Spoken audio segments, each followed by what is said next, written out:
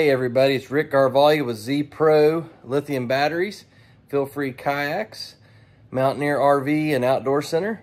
And I just wanted to give you a quick tip today for something you could do to your kayak to help streamline your setup and make it a little bit more efficient when you're measuring fish.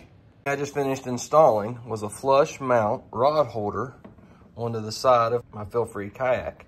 Uh, I've done this with my Moken. You can see there it's a little bit further back on the seat as far as the go the setup goes. And the way it's designed, um, you can put it right in here in between things. I've added extra gear track. I did have this on here so that I could uh, put my rod holder, my normal rod holder like this. And of course that puts it right by my knee and restricts a little bit of the movement. Not a big deal, but this allows the rod to be still put in a forward facing setup out of my way. My knee's not bumping it.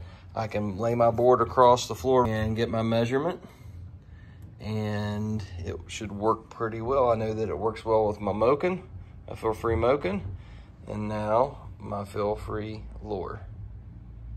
Hope you enjoyed this quick tip.